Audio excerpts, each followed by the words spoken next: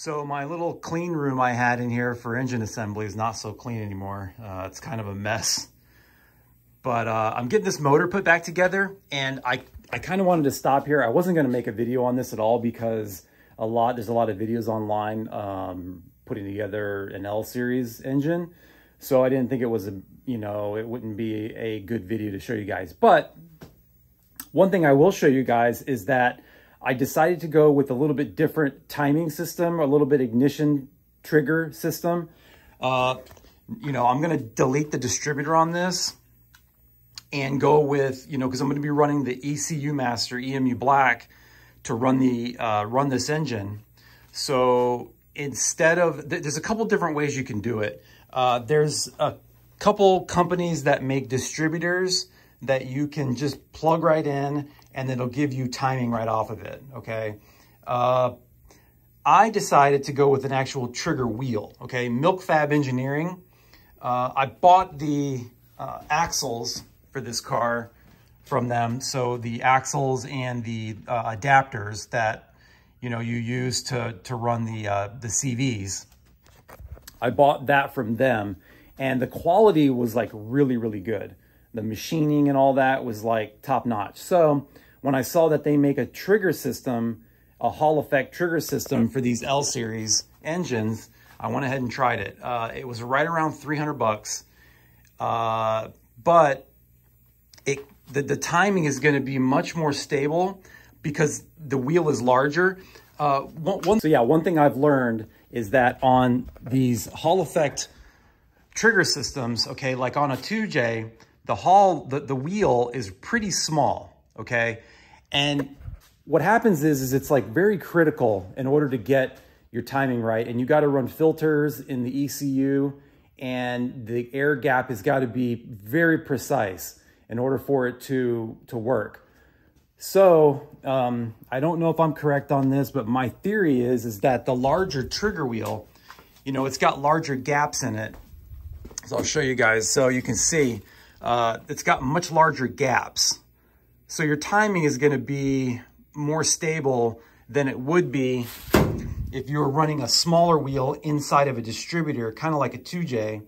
Uh, you know, you get trigger errors. Um, some, sometimes on the 2J, I do get trigger errors. Uh, it, you know, it doesn't really affect it that much, but you have to run like some filters and, and it's built in the ECU. But anyway, I, I wanted to go with this system because it just, it looked like it's going to be better. Like I can't verify that for sure. This is just, you know, a theory in my head and I'm, I'm hoping it works out. But anyway, I wanted to show you guys how this goes together.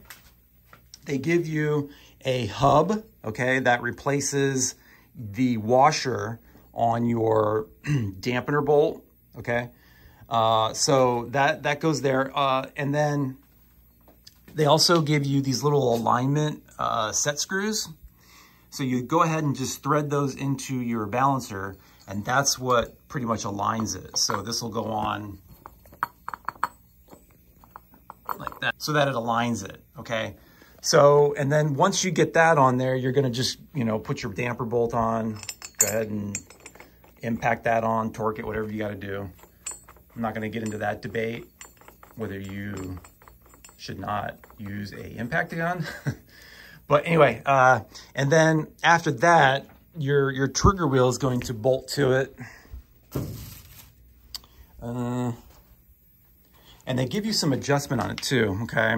So if this is, this is top here, uh, so you can see you can slide it and kind of fine tune your trigger system, okay? So in the ECU, you can also adjust that, okay? You can adjust the offset, but they give you a mechanical way to do it, to kind of adjust it, and that that's nice too. So, uh, you know, it gives you some options. I know some people like to run uh, Megasquirt, and I don't know what's in that software as far as how much you can adjust it.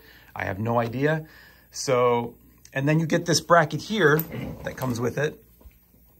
And this bracket just bolts onto your timing cover and it gives you a pointer as well. So what I've already done it, but what you want to do is get your engine at TDC, make sure it's, you know, you can use an indicator or put you could put a screwdriver in the uh, in the hole, and then you know when you see it come up and then just start to come down, back it off a little bit, and that's zero. And then it should line up here too. Okay, there's a little mark, and there, and then there's a little line in the back that you want to line it to. Once you get that, then you can then you can set your TDC. Uh, I was taking the uh, I was tightening the bolt a little bit earlier, and it kind of moved, but Anyway, uh, this little pointer here is also adjustable. So you can adjust that to wherever your, your zero is right there, okay? And then the, the Hall effect is gonna bolt right here. It's just a basically uh, the, the same one everybody uses. You can get them on like DigiKey or I think Mouser Electronics. And the part number is, uh, it ends in like 555. It's made by Littelfuse. They're like 35 bucks and it gives you really good stable timing, okay? That's what I have on the 2J.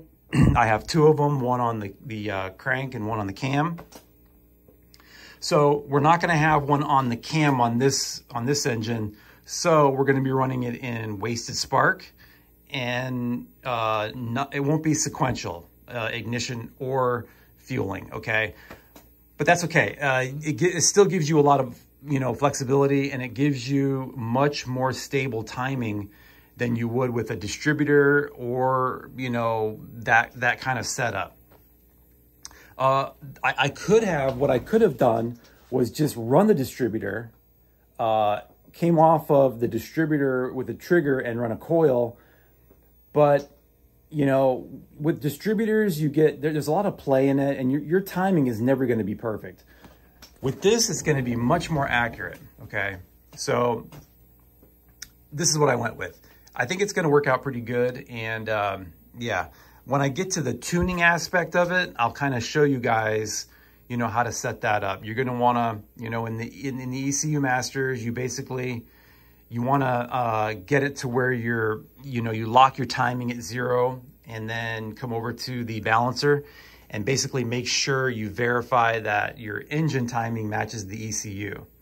And if it doesn't, you can, like I said, you can either adjust this or we can mess with the offsets in the, in the ECU, which is usually easier to mess with the offsets in the ECU than trying to guess on this. And then, you know, hopefully you got it right. And then if not, you got to go back and adjust it. So um, what I'm going to probably do is just set this in the middle, you know, close to the middle and then adjust it in the ECU, which, you know, will will get the timing right in line. So, but anyway, uh, that's pretty much all I wanted to show you guys. It's a, it's a really nice kit. I, I do recommend it so far. I mean, like I, I haven't run the engine, but I don't see where this is going to be an issue. And like I said, everything is, it just fits really good. The, the fit and the finish is really nice. So uh, they do give you good directions too. I, I noticed that when I bought the CV axles, you know, the directions are, are really, you know, comprehensive and it shows you pretty much everything and gives you step by step, you know,